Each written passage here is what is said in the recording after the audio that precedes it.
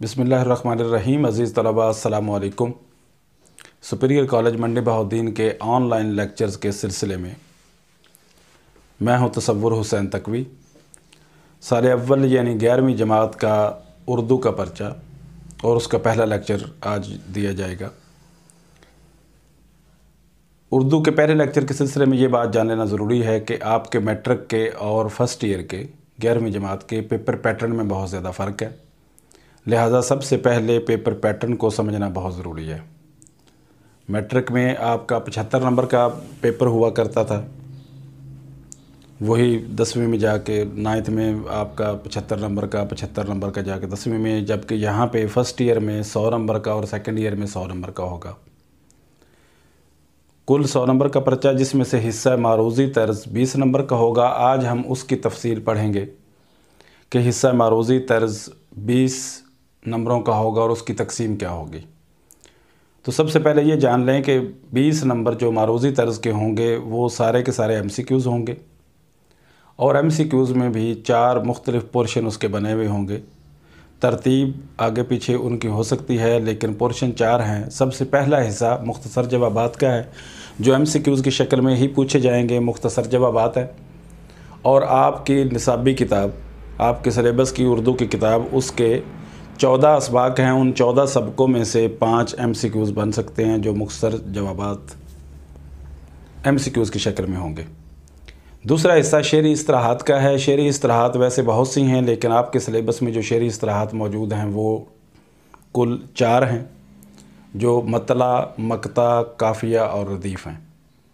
पाँच M C Qs इनसे मुतल होंगे, पाँच से ज़्यादा नहीं पूछे जा सकते। बोर्ड का पेपर सेटर पाँच से ज़्यादा पूछने का मजाज नहीं है। तीसरा हिस्सा इल्म बयान और इल्म बदी से मुतल है। इल्म बयान में दो चीज़ें हैं तशबी और इस्तारा जबकि इल्म बदी में है तलमी तो इन तीन चीज़ों से मुतल पाँच एम सी क्यूज़ होंगे, तीसरा पोर्शन इस चीज़ का है, चौथा पोर्शन तज़किर तानीस का है। ये तज़किर तानीस यहाँ पे उस तज़किर तानीस से मुख्तलिफ़ है, जो आप पाँचवीं जमात से लेके नौवीं, दसवीं तक पढ़ते आए हैं। वो तस्कीर तानीस हकीकी होती थी। हकीकी तस्कीर तानीस वो है कि कोई चीज़ जिसका हकीकत में नर और मादा मौजूद होता है, उसको हकीकी तस्कीर तानीस कहा जाता है। वो आपने मैट्रिक तक वो चीज़ें पढ़ी। लेकिन यहाँ पर जो तस्कीर तानीस आपके हिस्सा मारूजी में पूछी जाएगी, वो गैर हकीकी तस्कीर तानीस है। गैर हकीकी तस्कीर तानीस वो चीज़ जिसकी हकीकत में नर और मादा नहीं होता, लेकिन ज़बान में कुछ चीज़ों को मुजक्कर और कुछ को मुन्नस गिना जाता है, और ये कम बेश सारी ही ज़बानों में ऐसे ही होता है। इस सारे हिस्से की तफसील हम बाद में किसी और लेक्चर में करेंगे।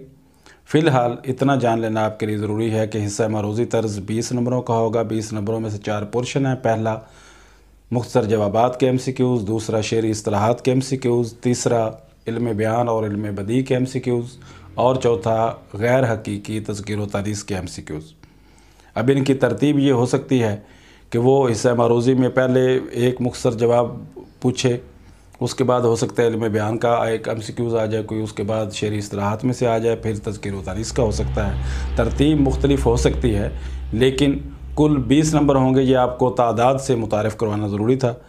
तो आज के सिलसिले का ये पहला लेक्चर हिस्सा मारूजी तर्ज की, नंबरों की तकसीम, उस पर मुश्तमिल था। बहुत शुक्रिया।